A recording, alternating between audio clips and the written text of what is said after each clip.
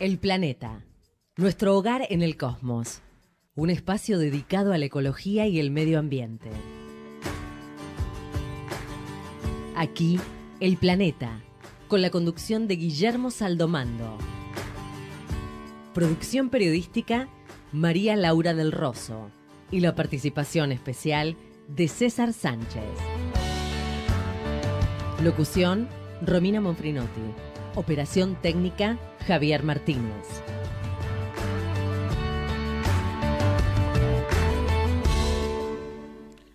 Las manifestaciones palpables del cambio climático se dan de manera extrema. Fríos intensos, calores desmedidos, tormentas de gran magnitud, sequías interminables e inundaciones devastadoras. Todo se torna de características impredecibles y de gran escala. No exagero para nada. Producto de estos desequilibrios es que tenemos temperaturas inusualmente altas en Siberia o en los países nórdicos, o sequías eternas en lugares donde la lluvia antes era abundante. Como correlato de esas sequías aparece el fuego con todo su poder destructor, al menos a corto plazo. El año pasado cientos de hectáreas arrasadas en Portugal, este año y casi todos los años en California y ahora Grecia. Las llamas consumen bosques nativos, bosques protegidos y también obviamente se cobran vidas, destruyen construcciones y dejan secuelas a su paso. El origen de los incendios muchas veces son intencionales y persiguen oscuros intereses, pero la mínima chispa hace que el resto, dado la sequía, el calor y el combustible, que es ideal, los árboles. Además del horror, la tragedia que dejan a su paso, están los gases de efecto invernadero que van a la atmósfera.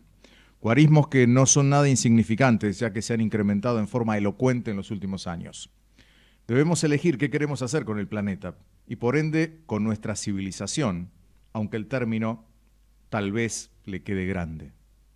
Es fantástico haber hallado agua en Marte, pero mientras tanto en California con el fracking se utiliza la poco que existe para extraer el petróleo de las entrañas de la Tierra. En definitiva, sepamos, tengamos claro que jugamos con fuego. Los Rolling Stones. Jugar con fuego. Well, you've got your diamond and you've got your pretty clothes chauffeur drives your car. You let everybody know, but don't play with me cause you're playing with fire. Your mother, she's an heiress, owns a block in St. John's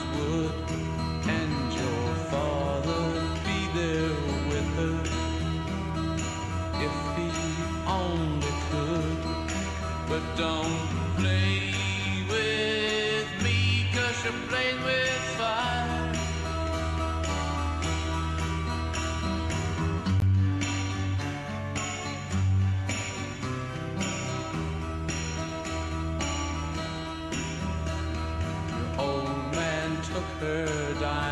Y eran nada menos que los Rolling Stones en su primera época, la, voz joven de, justamente eh, la, banda esta que se formaba allá por la década del 60. Esta grabación tiene que ver con 1965.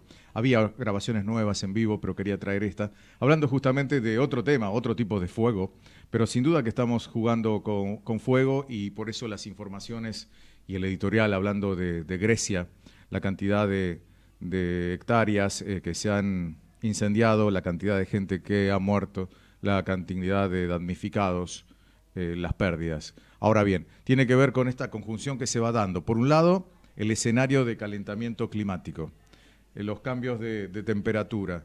Eh, además, lo que tiene que ver con construcciones donde no se debe, o sea, en la ladera de los bosques, donde hay bosques nativos, en la ladera de los montes, y entonces allí se cruzan intereses, por un lado, inmobiliarios, intereses de empresas que han descubierto, por ejemplo, bauxita, en algún monte donde hay bosques protegidos y obviamente ahí están quienes quieren explotar la minería al respecto. Eh, todo este tipo se va conjugando. Eh, una situación de sequía extrema que hace que cualquier chispa encienda todo y corra como reguero de pólvora. Eh, no es nuevo. El año pasado lo sufrió Portugal, California casi siempre, cada vez que llega la época de sequía y el verano. Y lo loco que el fracking está extrayendo petróleo en muchos lugares de California y por otro lado falta el agua en lo que sería una de las grandes economías del mundo. Si fuera un, país independiente California, estaría entre el noveno y el, o el décimo lugar. O sea, la importancia de, ese, de, ese, territorio, de ese estado de los Estados Unidos. En fin, estas son cosas que, suceden, que tienen que ver con eh, la cuestión estructural. Por un lado, el calentamiento global y además estos incendios que generan muchos eh, gases de efecto invernadero que se van sumando eh, a todo lo que produce o el, impacto que genera el ser humano. Hablamos siempre de la cuestión de vehículos automotores, todo lo que es transporte, hablamos de la logística, hablamos también del ganado vacuno, que además emite metano, hablamos de la cuestión de la agricultura este, extensiva, o sea, son todos elementos que se van conjugando a la hora de generar gases de efecto invernadero, además de lo que produce la naturaleza, la cuestión volcánica, por ejemplo. Estos son temas este, que hacen al comienzo del programa. Esto se llama Aquí el Planeta hasta las 2 de la tarde por AM 1220 Ecomedios.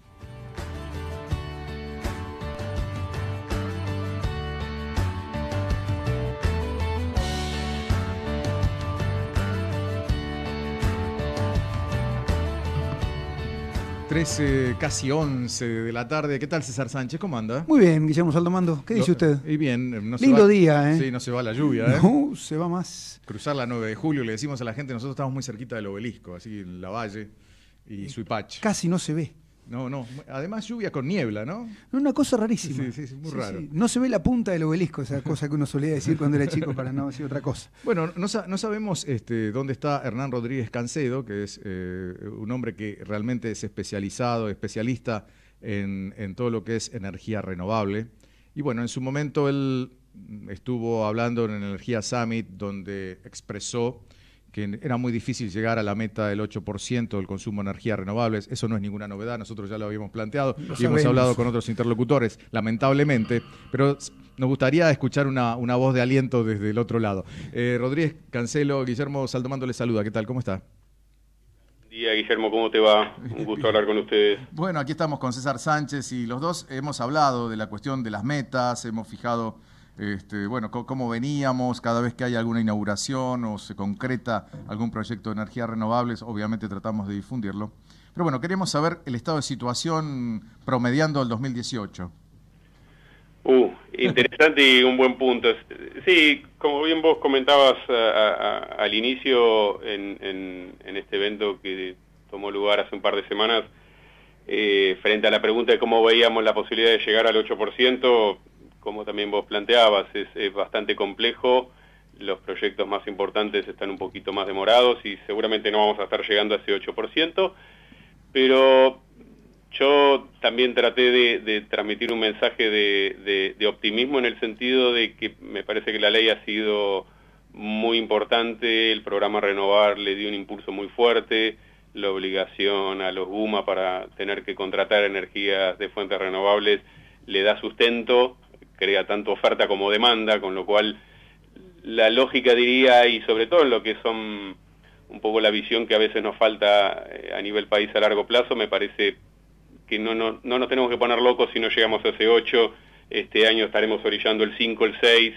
eh, ayer se firmaron unos 8 proyectos más de renovar 2, se están dando algunas señales para extender los plazos para los contratos que ya firmaron PPA, se dieron de baja dos, entiendo, eh, no sé si lo comentaron eh, la semana pasada, dos proyectos que venían muy atrasados de renovar uno, uno y medio, eh, creo que uno era de solar y el otro eólico, se dieron de baja justamente porque no estaban mostrando señales de avance, con lo cual creo que Iguacel, que es ministro nuevo, está también retomando la posta, también el gobierno está mostrando un poquitito los dientes para justamente acelerar. Para acelerar el tema. Sí, hemos hablado inclusive con responsables de Jujuy, eh, también tenemos en carpeta lo de Salta.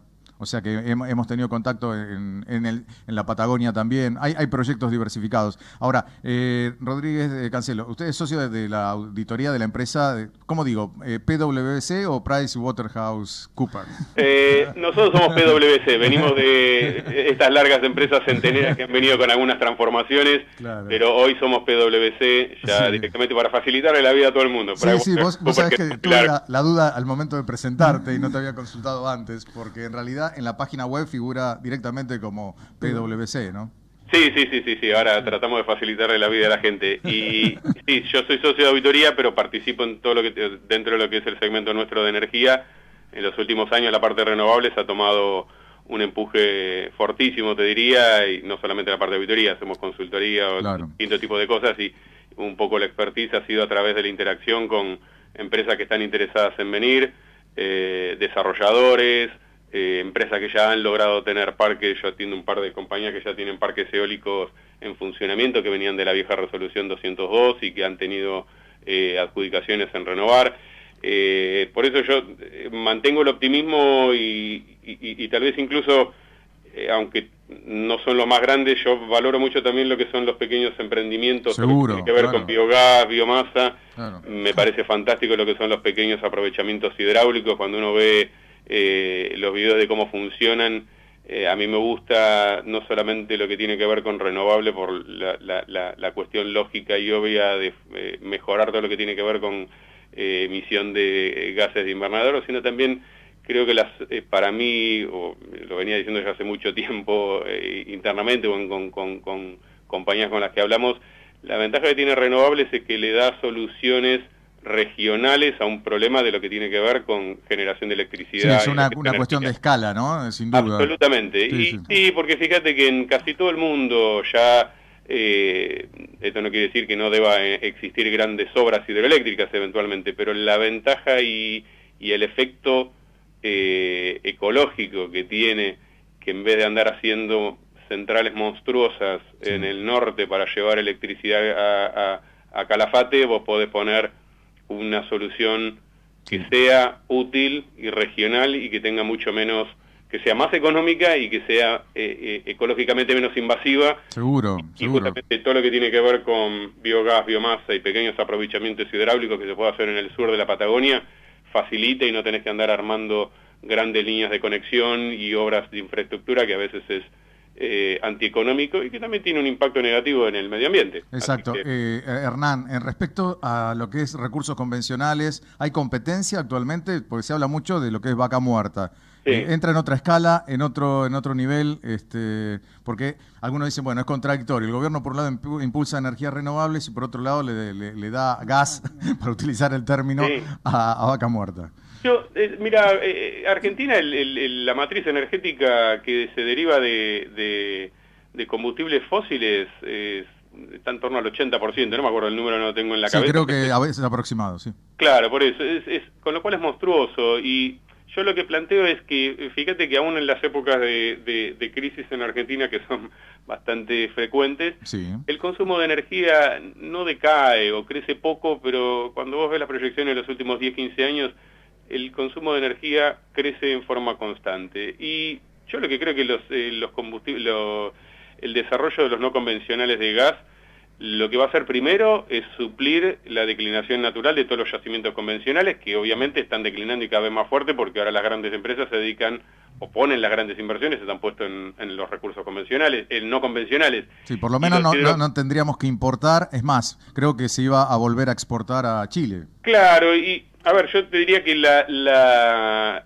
si se estructura en forma inteligente, donde de vuelta no tiene que haber una brecha y una, y una grieta en unos u otros, eh, la competencia y donde el gobierno deberá hacer foco es reducir la importación de combustibles líquidos para quemar en las centrales, que también tiene un muy buen efecto eh, a, a- a- a nivel ecológico, porque Argentina todavía sigue trayendo combustibles líquidos para quemar en las centrales. Las grandes eh, centrales térmicas pueden funcionar a gas o a gasol o fuel oil.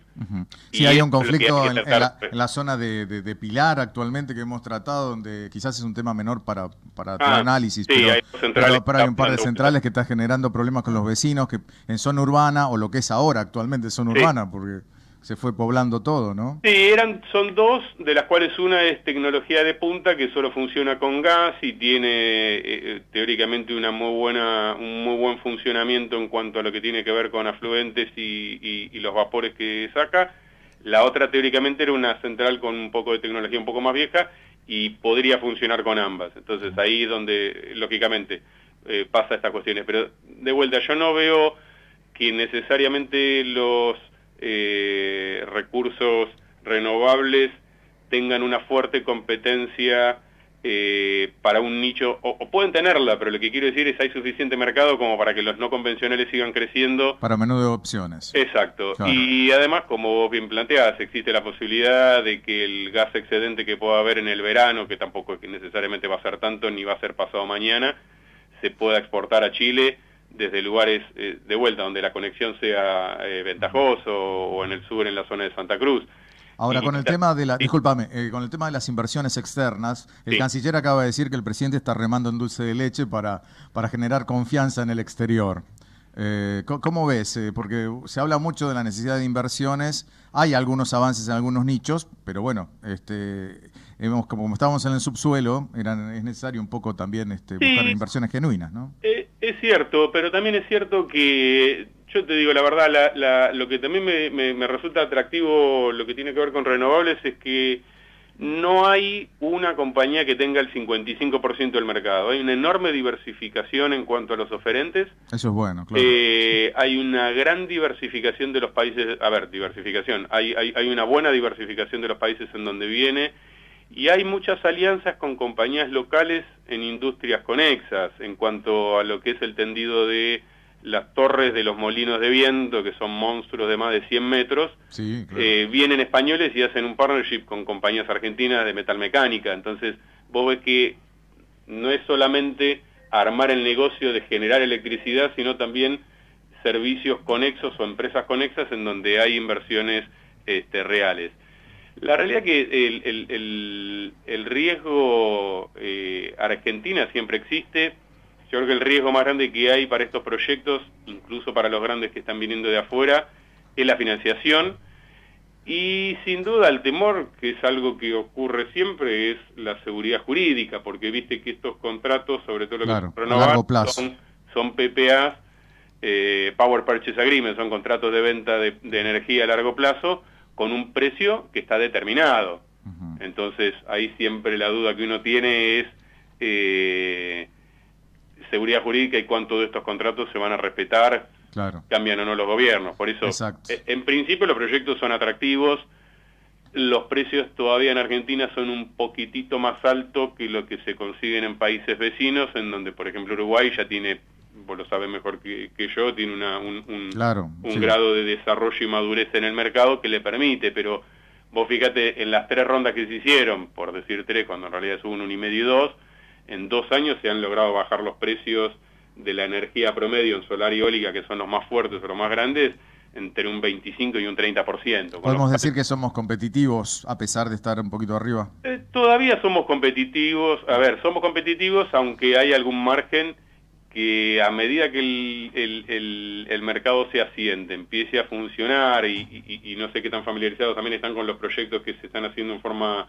lo que es eh, distribuida, los contratos de entre privados, que, o sea, no solamente están los contratos que Claro. se están haciendo con Camesa a través del programa Renovar, sino que hay unos 17, 18 proyectos por casi mil megas más que ya se han firmado y están funcionando, que son estos GUMAS, las grandes empresas, los grandes usuarios, que han acordado con algún desarrollador la, la- la- la construcción de alguna de algún parque eólico o una planta de biogás para que compren directamente a ellos sin tener que pasar por Camesa. Con Por lo cual, claro. vos ves que sigue funcionando. Y como te decía, los proyectos más chicos de renovar y de incluso de los privados son los que más rápido se pueden poner en, en práctica y que también interactúa no solamente con energía, si querés, el, el- núcleo duro de energía, sino también con lo que es agribusiness, porque Perfecto. todo lo que tiene que ver con biomasa y biogás eh, tiene una interacción muy importante con otra actividad que en Argentina está recontra desarrollada como la, La la- la agricultura. agroganadera, claro. sin duda.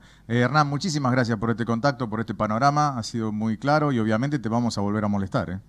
Con gusto y no, no, no, será un placer. Yo, yo creo que no es, eh, yo, yo un poco en, en otra charla comentaba que definitivamente las energías renovables están de moda, lo cual a veces uno lo puede mirar en forma despectiva, pero también hay modas que han venido y se quedaron muchísimo tiempo y dejaron de ser moda para ser una realidad, con lo cual creo que al principio fue un poquito eso. Y ahora es una necesidad, diría.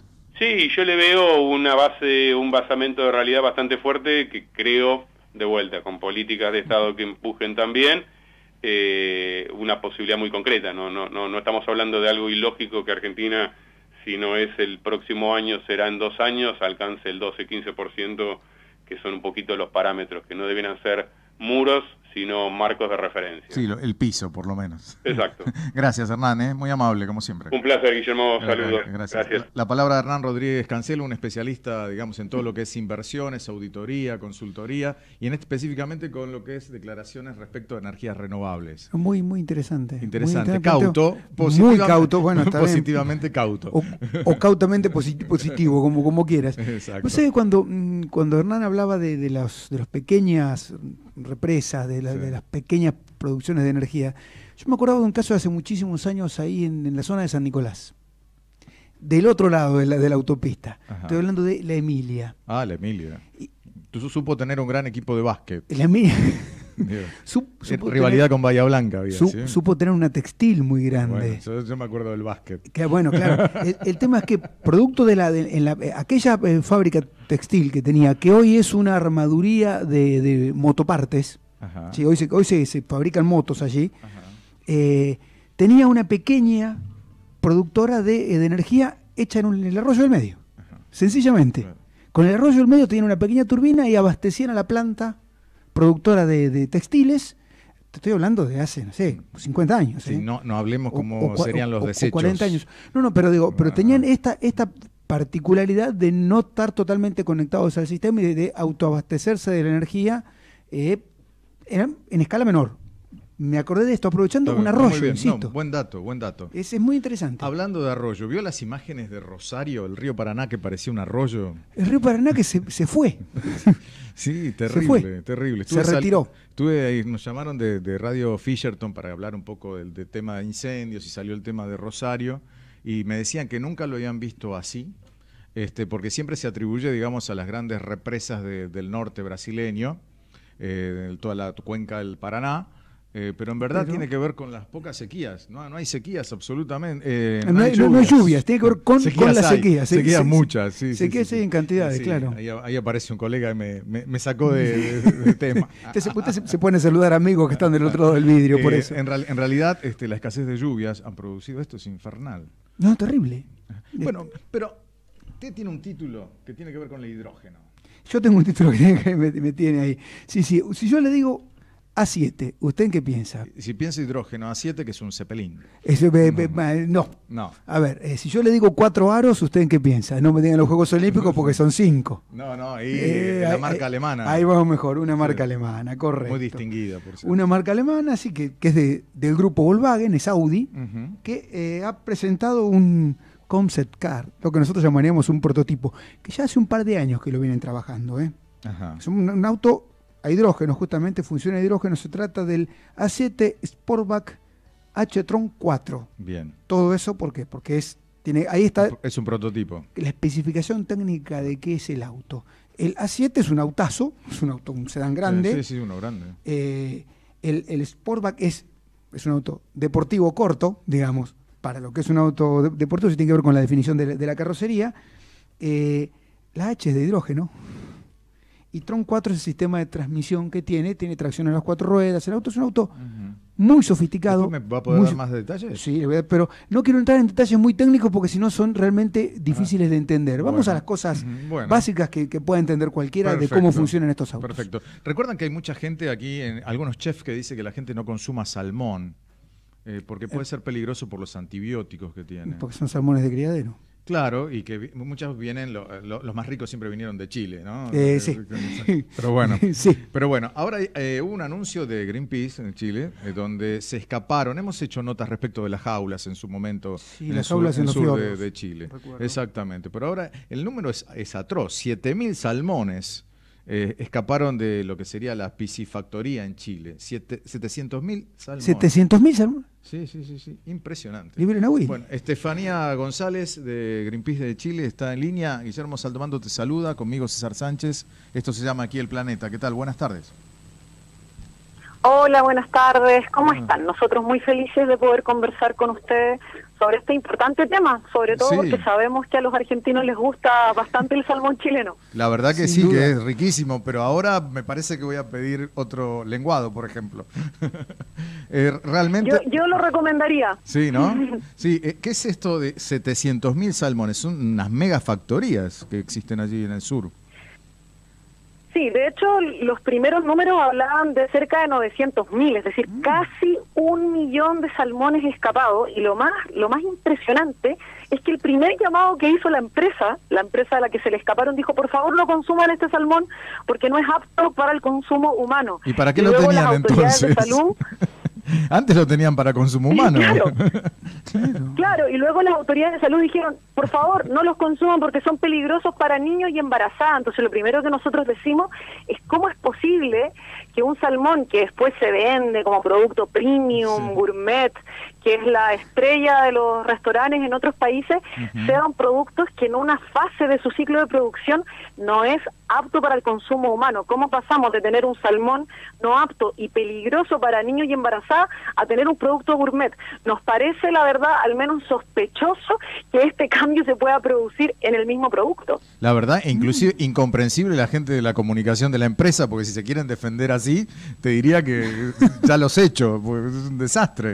Porque si estaban en jaulas, Tal- tal eh, estaban bien, se, se escapan y ya no están bien. No sé, una, ¿Cómo es? una locura.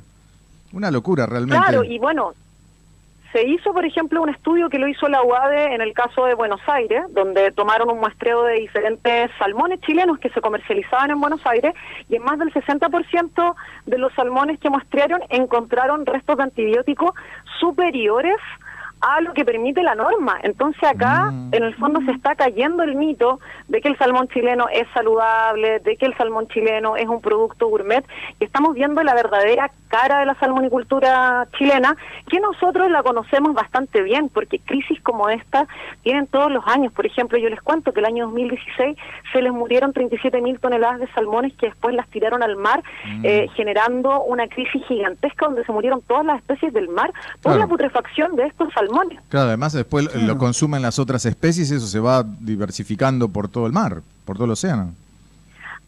Así es, bueno, el principal peligro que tenemos con el escape de estos salmones es que estos salmones hoy día son carnívoros y están, al estar fuera de las jaulas, devorando a todas las otras especies nativas. Y es muy probable que estos salmones ya estén llegando a los ríos y se asilvestren, es decir, se adapten a las condiciones locales y se transformen en una nueva especie, en una especie invasora. De hecho, nosotros, para que la gente lo entendiera, les contábamos que este escape equivale a que 140 millones de ratones estuviesen sueltos en la ciudad. Claro. Esa es la magnitud que tiene este, este escape y la verdad a nosotros nos preocupa mucho porque hoy día esta industria, porque ha destruido los océanos en Chile, se quiere mover, adivinen dónde, a la Patagonia Argentina. Ah, ah, ah, ¿Ya tienen lugar donde por el lado Tierra del Fuego o Santa Cruz?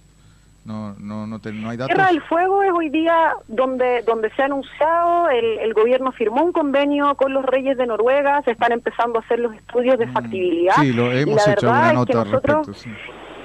Sí, claro, sí, y sí. nosotros en nuestra Patagonia chilena ya hemos visto los impactos. Acá el mar está completamente destruido, tenemos estos escapes que generan estos impactos irreversibles en el océano, tenemos crisis todos los años. Entonces creemos que la experiencia chilena sirve lo suficiente para mostrarle a Argentina cuál es el camino que, que no tiene que tomar. Así es que estamos también bastante preocupados por lo que pueda pasar en Argentina y esperamos que, que allá protejan realmente su Patagonia, sectores maravillosos como Ushuaia, eh, y no permitan que estos desastres lleguen allá. Porque si es que quieren llegar allá es porque aquí en Chile ya no les están quedando pedazos de mares limpios para poder desarrollarse. Está- estaba pensando, los salmones son depredadores, generalmente, como vos decías, son carnívoros. eh, y, pero también deben sufrir la depredación de otra especie. Eh, ¿quién, ¿Quién consume salmón? O sea, ¿qué, qué especie consume Bueno, salmón? Lobitos marinos, por ejemplo, eh, lobito, los lobos marinos les gustan los salmones y por eso acá también se han registrado matanzas de lobos marinos y ese tipo de especies eh, para evitar que se coman a estos salmones, pero ese es como el único depredador que pudiesen que pudiesen tener. De hecho, hoy día estamos en alerta también de los lobos marinos de que no vayan a estar afectados al encontrar y poder comerse estos salmones que, que andan sueltos. ¿Hay posibilidad, hay posibilidad que problema- se, de- discúlpame, ¿has- ¿hay posibilidad que se degrade ese antibiótico con el tiempo o son dosis para elefantes más que para salmones? Mira, te voy a hacer una comparación bastante clarificadora. En Chile, la misma empresa, por ejemplo, la empresa Fermac Marine Harvest, utiliza 700 veces más de antibióticos de lo que utiliza la misma empresa en Noruega. Ah, bueno. Para la mitad de la producción, los antibióticos que hoy día están sueltos en las aguas de donde fue el escape equivalen a lo que la industria noruega utiliza en cuatro años. Toda la industria, es decir, el escape de un centro es lo que utiliza en cuatro años toda la industria en Noruega que produce el doble de salmones de lo que produce todo Chile. Qué bárbaro, Ah, increíble, increíble. ¿eh? Estefanía César Sánchez te saluda. ¿Cómo ese estás? es el nivel. Estefanía César Sánchez te saluda. ¿Cómo estás? Eh, te quería Hola César. te quería consultar lo siguiente. Digo, a ver, do- dos cuestiones. La primera es, geográficamente, ¿dónde están esta, esta factoría a la cual se le escaparon casi un millón de salmones? ¿Dó- ¿Dónde se encuentra? ¿En qué, en qué Es- parte? Esto está como de como a la altura de Bariloche, si es que lo queremos Ahí comparar está, con, con. Argentina para que se La ubiquen. décima, décima región sería lado- de Isla de Chiloé. la décima región de Chile.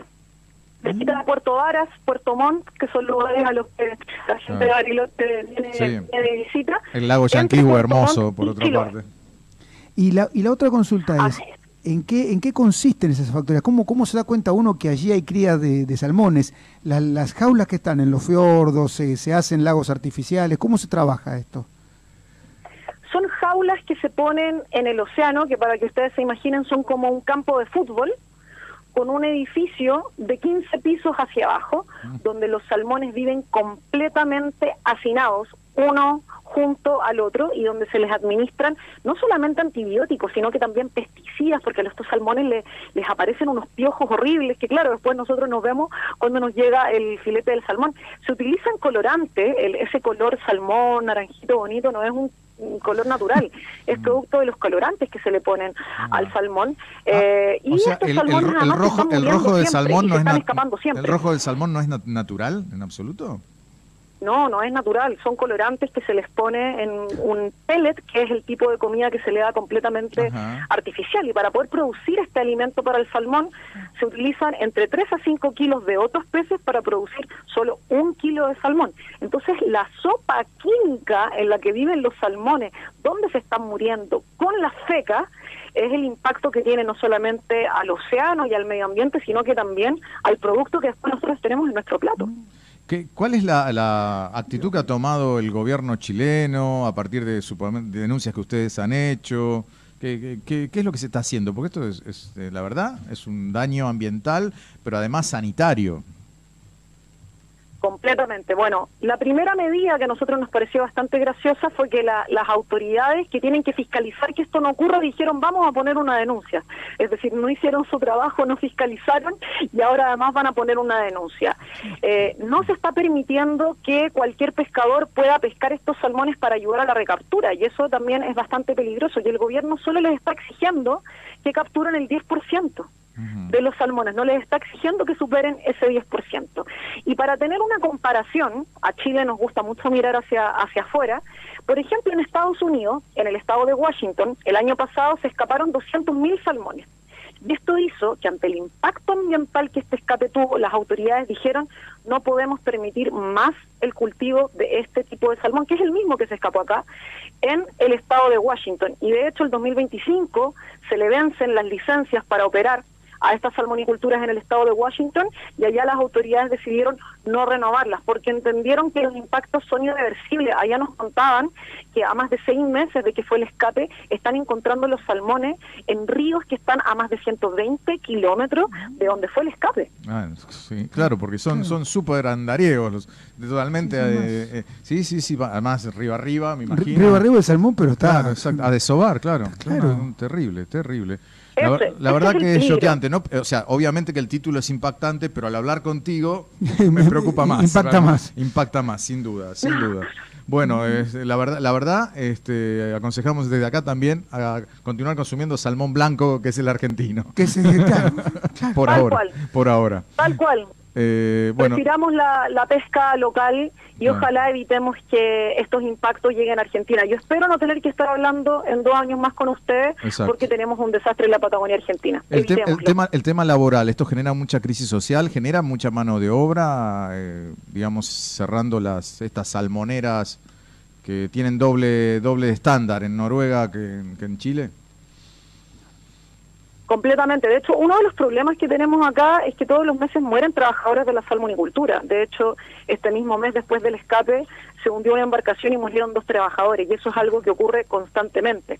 Mientras que en Noruega, con suerte, morirá un trabajador al año, acá nosotros tenemos muertes todos los meses. Tenemos que pensar que la salmonicultura es el segundo sector exportador de nuestro país y, sin embargo, entre empleos directos e indirectos da cerca de 50.000 empleos en un país de más de 18 millones de Claro, habitantes. claro, claro. Por lo tanto, tampoco estamos hablando de que sea gran cantidad de empleos si es que miramos la importancia que tiene en los números a nivel a nivel nacional. Y acá los más afectados son los pescadores artesanales. La pesca artesanal es mucho mayor que a los empleos que entrega eh, la salmonicultura. Entonces, en cada una de estas crisis hay gran cantidad de desempleos, porque las salmoneras además despiden trabajadores cuando tienen crisis y los pescadores artesanales no pueden ir a pescar porque ven su actividad y su mar completamente contaminado.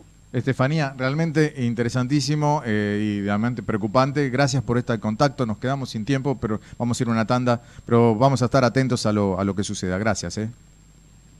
Gracias a ustedes, que tengan buena tarde. Gracias. Estefanía González de Greenpeace Chile, realmente con un eh, título terrible y un desarrollo peor. Cla- Claro, claro, claro. Dice, no, era, era más suave. No, terrible. Vamos a la tanda y volvemos hasta las 2 de la tarde. Esto se llama Aquí el Planeta. Ecomedios.com AM1220. Estamos con vos. Estamos en vos. Descarga gratis de tu celular la aplicación Ecomedios. Podés escucharnos en vivo, informarte con las últimas noticias y entrevistas en audio y video. Búscala y bajate la aplicación Ecomedios.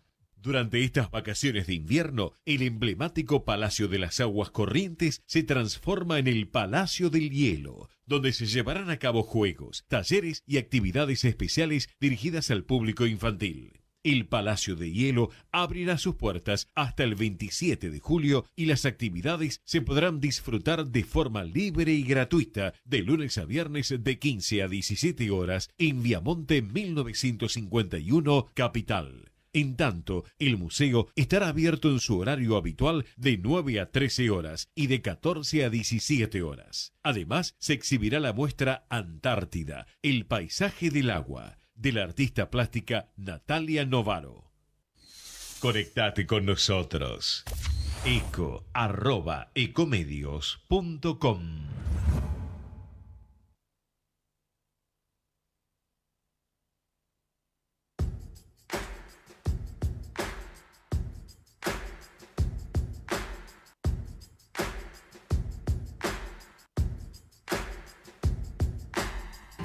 Continuamos en Aquí el Planeta por Ecomedios, AM1220. Nos puede seguir también por internet, ecomedios.com, por Facebook, Twitter. este, Eh, y o- pone. o nos puede seguir al trote si quiere, no hay problema. Ah, no, eso usted después ya me habla, aunque lo veo cansado, pero bueno. Hoy estoy, sí, sí, hoy tuve un entrenamiento de esos durísimos y además Ya con este hablar. clima. ¿Usted sabe que va a haber running en Bariloche en la nieve? eh, hay todos los años, de hecho. Claro. No, no, no sabía específicamente, pero sí, claro. Este, es, es lindísimo. así que- Bueno, eh, perdón, cerca de ahí se corre todos los años el Tetratron en, en Chapelco, en San Martín de los Andes, y parte integrante de esta emisora Este, parte, par- parte de los directivos de esta emisora participan, de hecho, de esa, esa carrera habitualmente. Muy bien. Así muy que, bien. este, bueno, va- sí, vaya seguramente- buscando lo del auto porque en un Esto- ratito me lo esto- va. cuando- cuando quiera. Si usted quiere es ahora, si un- quiere dentro de un dígame, ¿Es un ratito. híbrido? Lo único. Es un híbrido. Bien. Sí, sí, sí, sí. Buenísimo. Es, es un híbrido. Lo que no es pero un atención, pero no es un híbrido a nafta.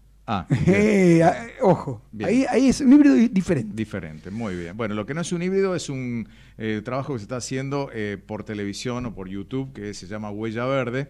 Eh, Valeria Guariste es la realizadora, productora general.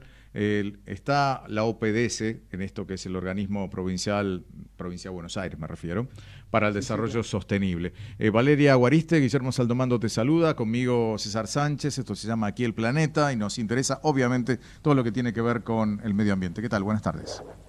¿Qué tal? Buenas tardes, Guillermo. Un saludo para la gente que está ahí con vos y para toda la audiencia. Bueno, queríamos saber cómo es esta iniciativa, Huella, Huella Verde TV. Así que queríamos darle el beneplácito y digamos, ¿ya, ya está al aire? ¿Ya, ya sale? Sí, eh, bueno, muchas gracias por, por inter- inter- interiorizarse, interesarse en este proyecto. Eh, sí, es un ciclo de microprogramas audiovisuales. De momento eh, están saliendo por redes sociales y YouTube del sitio oficial de OPDS. Eh, como vos decías, que es eh, la autoridad ambiental de la provincia de Buenos Aires. Y es un ciclo de microprogramas que vamos eh, publicando periódicamente eh, sobre temas ambientales vinculados a distintas eh, iniciativas eh, urbanas que tienen que ver con, con acciones del Estado, de particulares y de la comunidad en general eh, con temáticas ambientales y también a eh, la parte eh, natural de la que tiene la provincia de Buenos Aires, que cuenta casi con 30 reservas naturales y que bueno, digamos, es un abanico de ecosistemas eh, muy muy rico y también es interesante mostrar, ¿no? Eh, así que a través de estos microprogramas eh, buscamos un poco generar un acercamiento de los ciudadanos con, con los ambientes naturales y con iniciativas eh, que en pos del- de mejorar el ambiente y de mitigar los, los efectos eh, nocivos que el propio Claro. ser humano genera. Valeria, re- retalos ahí a la gente que está en el salón, que está a los gritos, hacerle Sí. señas, que se Sí, escucha mucho. Estoy en un lugar público y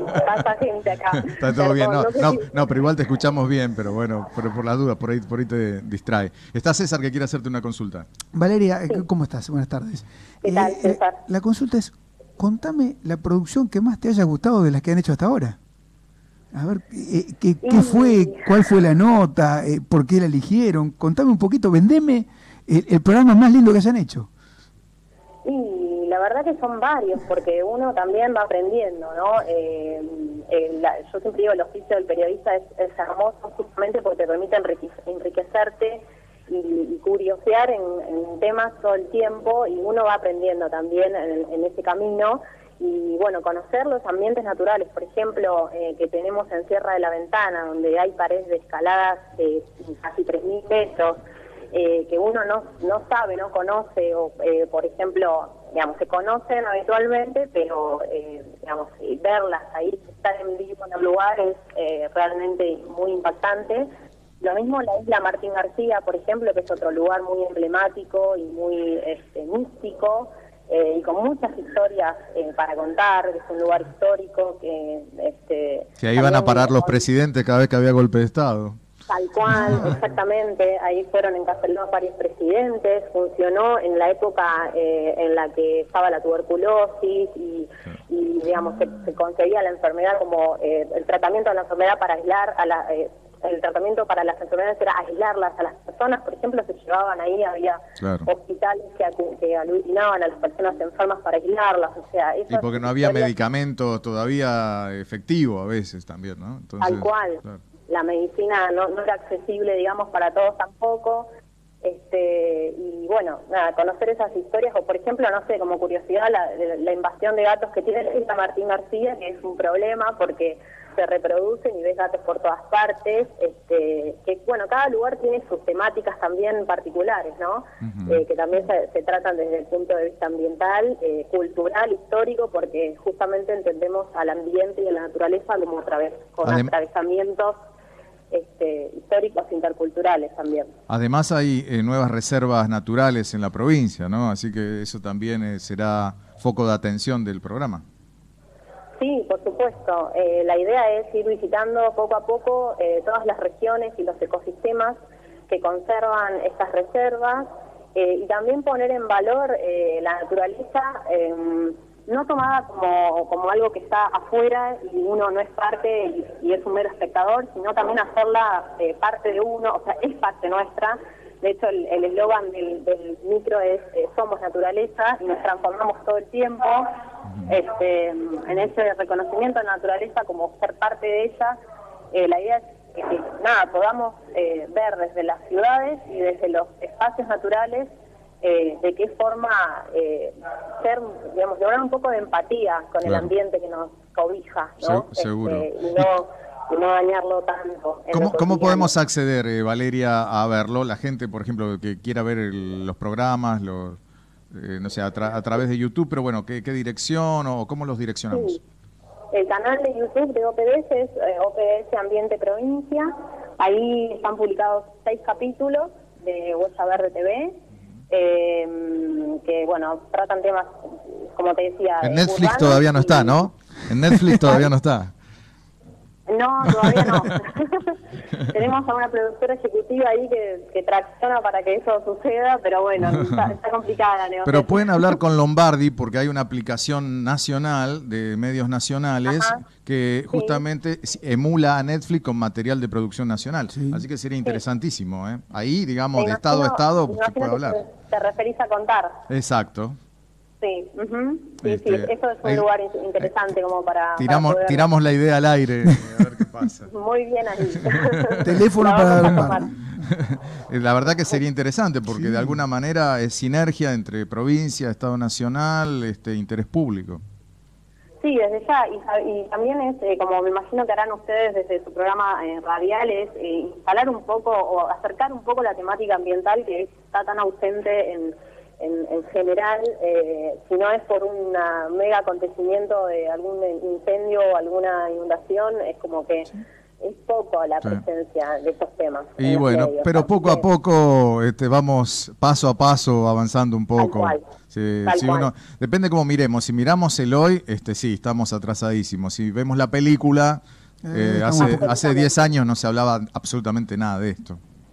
Absolutamente. Bueno, Así es. Bueno, felicitaciones y el mejor de los éxitos. Y estemos en contacto. Bueno. si nos podemos Bueno, ayudar, en buena gracias. hora. gracias. ¿Cómo que eh. no? Gracias, Guillermo. Gracias. Un eh, gusto. Gracias. Saludos a todos. La palabra de Valeria Guariste, realizadora y productora general allí de Huella Verde. Esta, esta idea me parece muy interesante, Lindo, la. OPDS, ¿no? Lindo, El lindo, Organismo lindo. Provincial de Desarrollo Sostenible, apuntando a mostrar la naturaleza en la provincia de Buenos Aires. Además, la provincia de Buenos Aires es un país, tenés para mostrar, pero de Sí, todo. totalmente. Es muy lindo. No, Totalmente. No, no, muy buena idea. Toda Así la costa, no me quiero imaginar las cosas que debe haber para mostrar en la costa. humedales, sierras. Humedad- claro, este, claro, claro, la claro. misma estepa. Tenemos, Me encanta porque arrancó para dos cosas que uno no tiene eh, registrado habitualmente en la provincia de Buenos Aires. Porque en provincia de Buenos Aires uno dice llanura. ¿sí? Pasto, vaca y trigo. Sí. Y resulta que arrancó para Sierra de la Ventana y para la isla Martín García, que uno prácticamente ni te acordás que la isla Martín Claro. García es provincia de Buenos Aires. Exacto. Está ahí, pero No, no, no. Buenísimo. Interesantísimo. muy lindo, muy Eh, lindo. muy además, lindo. hacen, le digo, esto no tiene que ver con el medio ambiente, pero hacen un pan dulce muy rico. En la isla, sí, Sí, muy- sí, muy sí, la panadería de la isla, es- no sé si es ambiental o no el pan dulce, pero es, es buenísimo. Muy rico. No conozco la isla, pero sí el Ah, pan dulce, pero sí el pan dulce. Yo he estado y la verdad que es magnífico. Eh, bueno, cuénteme de, de- de magnífico. de- del híbrido. El, el A7 híbrido. ¿Híbrido por qué? Primero, eh, es, es un auto raro, es tracción integral, o sea, tracción en las cuatro ruedas, pero tiene dos motores. O sea, no, no es un avión bimotor, es un auto bimotor. Tiene un motor que funciona con este, las, las pilas de, de hidrógeno, la- las baterías de hidrógeno, un motor que funciona a hidrógeno justamente, y a su vez tiene, esto es un motor que está en la este, tracción delantera y un motor en las ruedas de atrás que funciona con baterías de litio. Las baterías de litio se cargan de dos maneras, enchufándolo tradicionalmente como casi toda la batería de litio, pero también se cargan con la recuperación de energía, o sea, por cinética, cada, cada vez que se frena, cada vez que...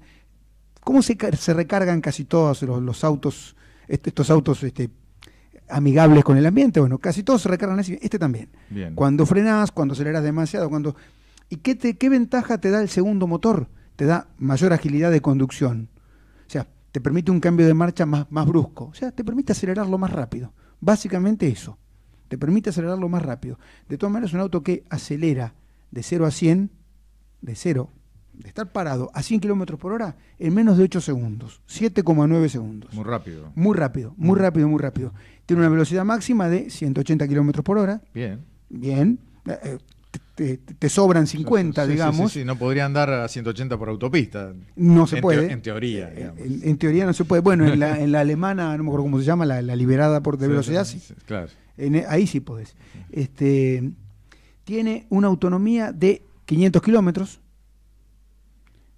Se carga en menos de 10 minutos. Muy bien. Y esto es muy interesante. Sí, claro. Esto es muy interesante. Carga rápido. Se carga el hidrógeno en menos. Claro, tenés que tener la, la estación de carga rápida de hidrógeno. Bueno. Pero bueno, eh, ¿cómo, ¿cómo funciona? Pero se podría utilizar en punto a punto, porque por ahí no, no- no vamos a tener estaciones, al menos a corto plazo, ni mediano plazo. No, claro. Pero, pero, por ejemplo, voy a, de Buenos Aires a Mar del Plata, son 430 kilómetros.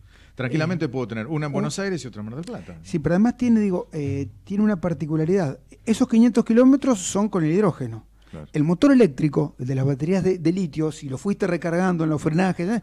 te tira 50 o 60 kilómetros más. Bien. Ah, O buenísimo. sea que tenés 550 prácticamente as- asegurados. Claro. Funciona como funcionan los, los híbridos, este, Sí. los, que conocemos ahora, los que son con un motor eléctrico y un, y un motor de, de combustión, que habitualmente en ciudad funcionan solo con el motor eléctrico y cuando lo sacás a la ruta lo exigís un poquito, se O los híbridos artesanales que le de nafta lo paso a gas, como los tacheros. Pero, pero ese de- sigue, sigue, sigue siendo un motor caliente, un Ese- motor de, de ese- combustión. Ese contamina siempre. sigue emitiendo. Y tiene una, una particularidad más este auto, porque no es emisión cero, Claro, eh, tiene emisiones, pero emisiones de agua. claro. Los autos de hidrógeno, Generan el o sea, vapor vos- de vos, agua, ¿no? si vas, vas a ver funcionar un auto de hidrógeno, vas a, vas a ver que emite un, que sale humo por el escape. Bueno, no, no es humo, es vapor Es de agua lo que sale. vapor. O sea, son eh, eh, doblemente saludables. Hasta beneficioso. claro. Cero, cero emisión de, de carbono, Claro. pero emiten agua. ¿Y que qué la- posibilidades la de que eso, no sé, mis nietos lo vean en la vía Eh, pública? Sí, yo creo que sí. ¿Sí? Yo, yo creo que sí. Em, te diría que antes también, ¿eh? ¿Sí? Sí, sí, sí, sí, sí. Me, me temo, me temo, no, no, no hay fechas concretas ni específicas. Pero me temo que en la década que viene estos autos van a estar en la calle. Y te doy un, un dato más, por ejemplo. Con, con cada kilogramo de, de hidrógeno, Sí. que, a ver, estos autos, este auto pa- pa- particularmente carga el hidrógeno en cuatro reservorios que están, en tres reservorios, pero que están debajo de los asientos y debajo del baúl. Ahí, ahí se carga el hidrógeno. No, no quiero decir tanques, porque es otra cosa, pero se, se cargan ahí. Tampoco es una pila, es otra cosa. Bien. Este, se, se cargan ahí. Con eh, un kilo de hidrógeno hace 100 kilómetros, Bien. ¿sí? Es el equivalente energético a 3 litros y medio, casi 4 litros de, de nafta. Perfecto. ¿Se, lo caminan, puede, ¿eh? se lo puede ver en alguna exposición del automotor, seguramente, Eh, ¿no? En algún momento va... va En algún momento lo Sí. van a mostrar en Europa. En Tokio, por en, en ejemplo. Gine- en Ginebra, en. Los Ángeles, van a arrancar por ahí. No, no lo vamos a tener acá, Bueno. pero Aunque, este, sin duda interesante, porque nosotros nos anticipamos, hacemos periodismo de anticipación. esto va- Le cuento un juro que dato. va a existir. Hablábamos de energías renovables en el comienzo del programa o promediando el programa y nos ha llegado una información de España. En España están trabajando muy avanzado en lo que son, en vez de energía eólica, lo mismo pero debajo del agua. Están trabajando en costas, eh, haciendo... con las este, corrientes. eh, directamente lo- lo- las aspas eh, en la profundidad para generar justamente energía allí. Seguramente debe haber alguna complicación en cuanto eh, es mucho más inestable, si se quiere, el mar, los océanos, las corrientes, pero sin duda están probando. Si eso es efectivo, hasta ahora hay pruebas piloto, pero puede ser más, Bueno. econ- más económico.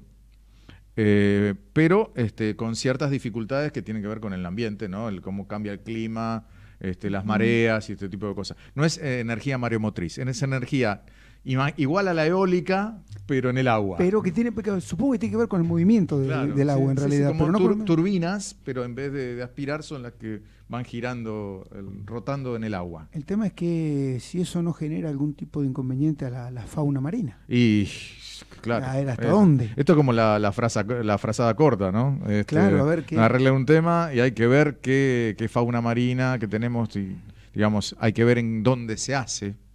También habría, Claro, habría claro, que ver, ese, ese tema. Cerca de la jaula de los salmones chilenos, por ejemplo. claro, Y ahí, ahí- ahí mata, eh, digamos, hacemos no, no, no, un desastre. un desastre. Un desastre de Mejor no pensarlo. No, no, ni, ni, ni imaginarlo. No, no, no, no, porque además bueno. lo que decía, este, el tema de después eso se pudre, o sea que te imaginas lo, que- lo que serían los, los desechos. Sería una cosa Terrible, muy complicada. terrible. Bueno, lamentablemente te- tenemos una noticia a- que se suma a la del viernes pasado. Falleció la jirafa del zoológico aquí en Buenos Aires, o el ex zoológico. El, ex- el, el ecoparque, Eh, el o el, futuro ecoparque. el- parque en transición. Porque Sí, no sé cómo llamarlo, no sé es qué es. una cosa- Ya tuvimos eh, en su momento a Ruth y, este, y ahora la, la jirafa. Exacta, exactamente, que no había podido ser trasladada. No hay santuario de jirafas. No hay santuario de jirafes. eh, Y es muy complicado no. trasladar una jirafa por el porte, por el cuello. Por... Eh, eh, sí. Y era todavía fácil. joven, tenía 18 años. Dicen que las jirafas pueden vivir en cautiverio más de 30, 35 años. Pero bueno, o sea no. que la mitad de la vida prácticamente. Eh, bueno, falleció y esto genera otro tipo de debate y polémica. Habíamos hablado también del zoológico de Córdoba, antes hablamos del de. Mendoza. Eh, me parece que hay toda una tendencia a cambiar es- este tema, ¿no le parece? Sí, terminemos con esos escaparates de seres vivos en las ciudades, ¿no? Es como que no da para, para seguir con estas cosas. Este, si yo le no diré sé a por qué es esto, para despe- despedirse me parece muy bien con la banda, con el nombre de la banda, porque yo, yo le digo que la banda se llama No te va a gustar. Así, Sí, así es que verdad, nos verdad. despedimos con una ráfaga de No te va a gustar y en este caso ligado al fuego. ¿Qué puedo hacer?